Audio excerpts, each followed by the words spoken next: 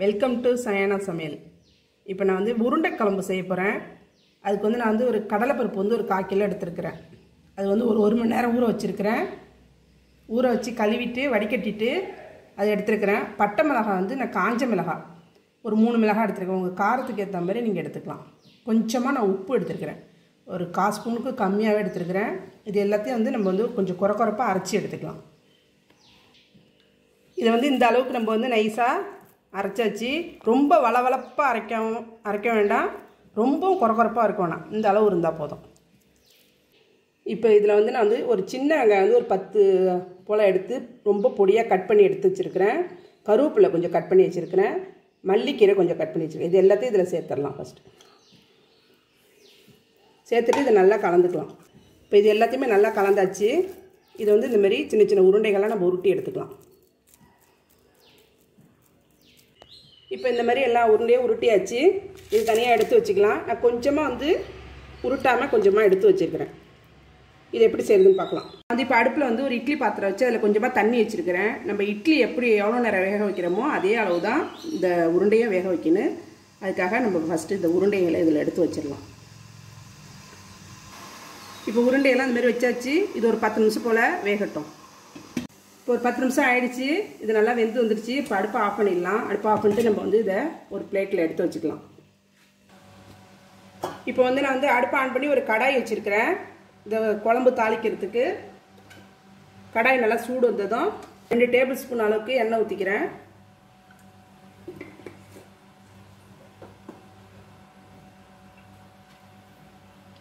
கடுகு கொஞ்சமாக கடுகு. ஜீரகம் கொஞ்சமாக ஜீரகம் ஒரு நாலு வெந்தயம். இதெல்லாம் நல்லா பொரிஞ்சதும் சின்ன வெங்காயம் ஒரு பத்து வெங்காயம் நான் கட் பண்ணி வச்சுருக்கிறேன். ஒரு அஞ்சு பல்லு பூண்டு கட் பண்ணி வச்சுருக்கேன். அதையும் இதில் சேர்த்துடலாம் சின்ன வெங்காயம் தான் ரொம்ப நல்லாயிருக்கும் உங்கள்கிட்ட பெரிய வெங்காயம் இருந்தால் அதையும் நீங்கள் சேர்த்துக்கலாம்.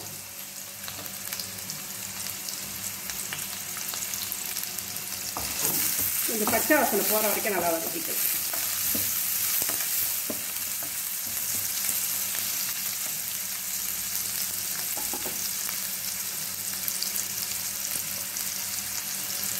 ஒரு ஒரு தக்காளி எடுத்து சின்ன சின்னதாக கட் பண்ணி வச்சுருக்கேன். அதையும் இதில் சேர்த்துடணும்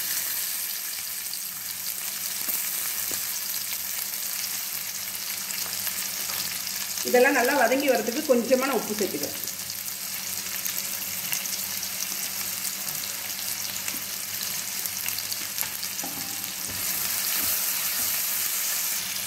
கருவேப்பிலை கொஞ்சம். மஞ்சள் தூள் வந்து ஒரு அரை ஸ்பூனு.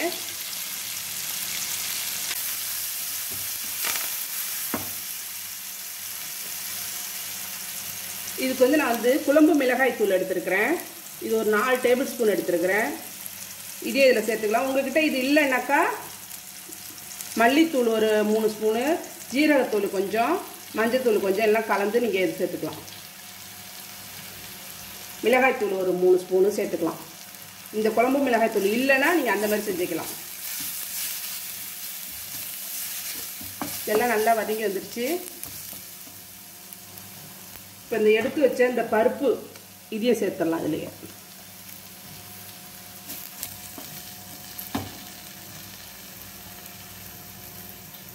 நான் ஒரு எலுமிச்சை சைஸ் அளவு புளி எடுத்து ஒரு பத்து நிமிஷம் ஊற வச்சுட்டு கரைச்சி எடுத்துருக்கிறேன்.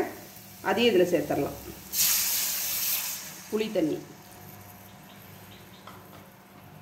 இது வந்து உப்பு காரம்லாம் நீங்கள் பார்த்துக்கிட்டு தேவையான அளவு தண்ணி கொஞ்சமாக சேர்த்துக்கலாம். ஃபஸ்ட்டு இது எல்லாத்தையும் நல்லா சேர்த்துட்டு உப்பு காரம்லாம் பார்த்துட்டு நம்ம கொதிக்க விடலாம். ஒரு பத்து நிமிஷம் போல் இதை கொதிக்க விடலாம்.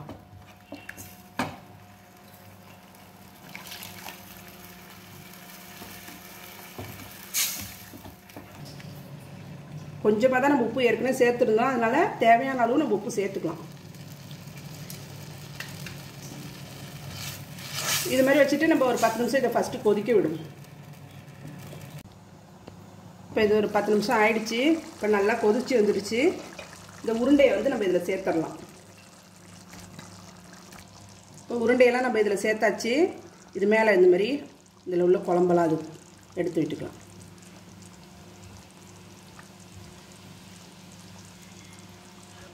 இது ஒரு ரெண்டுலேருந்து ஒரு மூணு நிமிஷம் போல் இது அப்படியே சிம்மில் வச்சு வேக விடலாம். இது ஒரு மூடி போட்டு கொதிச்சிட்டு இருக்கட்டும். நம்ம வந்து கொஞ்சமாக தேங்காய் வந்து அரைச்சி பாலாக எடுத்து வச்சுக்கலாம். நல்லா உருண்டையெல்லாம் நல்லா வெந்து கரெக்டாக வந்துருச்சு. இந்த அளவுக்கு இருக்குது இப்போ நான் வந்து தேங்காய் பால் வந்து எடுத்து வச்சுருக்கிறேன். அதையும் இதில் சேர்த்துக்கலாம்.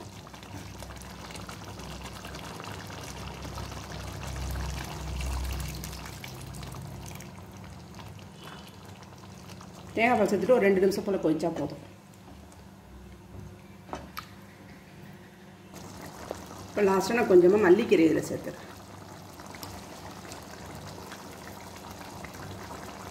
அவ்வளோதான் அடுப்பு ஆஃப் பண்ணிடலாம். நம்மளுடைய உருண்டை குழம்பு ரெடி ஆகிடுச்சு இதையும் உங்கள் வீட்டில் ட்ரை பண்ணி பாருங்கள் இந்த வீடியோ பிடிச்சிருந்துச்சுனாக்கா சயனா சமையலுக்கு சப்ஸ்கிரைப் பண்ணாதவங்க சப்ஸ்கிரைப் பண்ணுங்கள் லைக் பண்ணுங்கள் ஷேர் பண்ணுங்கள் கமெண்ட் பண்ணுங்கள் வீடியோ ஸ்கிப் பண்ணாமல் பாருங்கள்